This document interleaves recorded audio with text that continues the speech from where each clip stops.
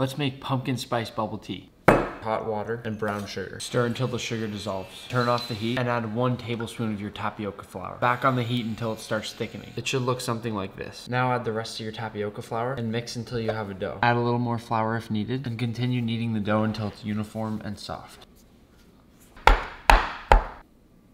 Now we have our pearls. Boil for 20 minutes. For our tea, we'll add two cups of milk and two tea bags of chai. Then we'll add a sprinkle of pumpkin spice, sprinkle of sugar, and after five minutes, remove the tea bags. Then add four tablespoons pumpkin puree and a dash of vanilla extract. So I've made this beautiful gold boba. I'll color a couple with black dye to show you what that looks like.